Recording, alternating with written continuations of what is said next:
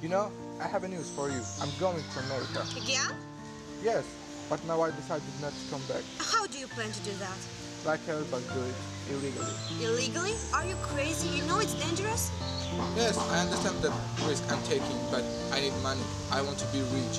I need cool life. I need Lamborghini. It's possible, and I will do everything to do that. Does it cost your life?